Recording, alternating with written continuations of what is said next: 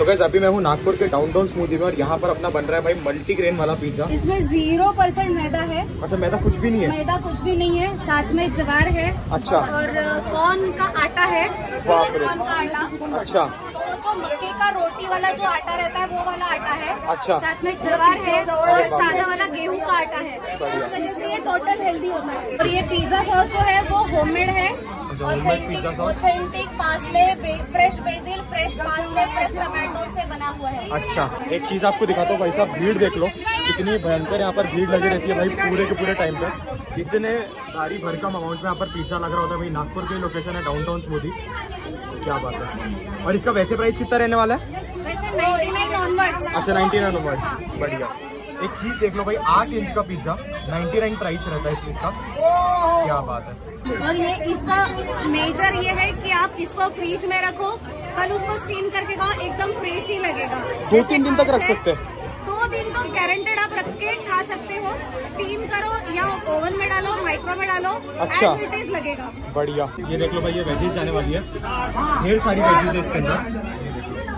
Veggies में क्या क्या डाल रखा है? कॉर्न डाल रखा है? कॉर्न है अनियन है। अनियन है ब्रोकोली है। ब्रोकली भी डाल रखी है? और इसका प्राइस है सिर्फ़। 99 ये इसका प्राइस रहेगा नाइन्टी नाइन क्या बात है भाई 99 में आप और क्या ही एक्सपेक्ट करोगे?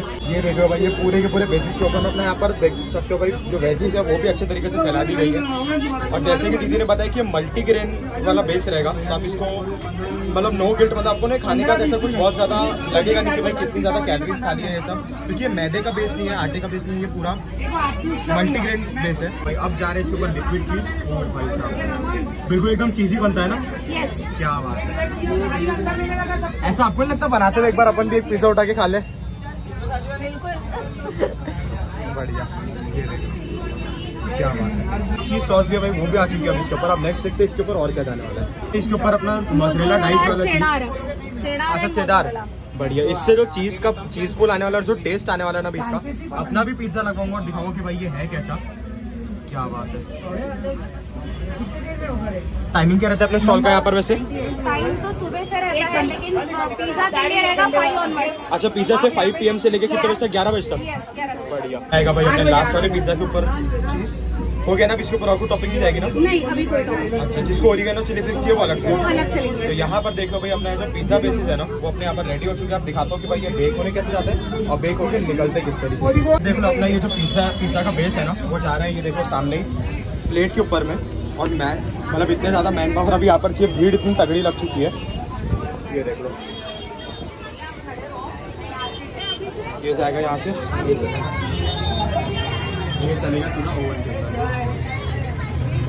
देख लो भाई, ये चलेगा अपना आखिरी पिज्जा सीधा इसके अंदर अब देख, दिखाता हूँ कि ये बेक होके निकलता है जैसे तो भाई यहाँ पर देख लो अपना जो पिज्जा जो है ना रेडी हो गया। ओ भाई साहब यहाँ पर देख जो पिज्जा जो है ना वो रेडी हो चुका है। और इसका प्राइस रहेगा नाइन्टी नाइन रुपीज़ सिर्फ़ और सिर्फ़ कहाँ पर डाउन टाउन स्टूडियो आप निकाल लीजिए उसको। तो देख लो भाई ये आ गया अपना पिज्जा ये हो गई भाई इसकी plating ninety nine rupees price आएगा डाउन टाउन स्मूदी अब होगी भाई इसकी कटिंग कट भी कर दो उसको।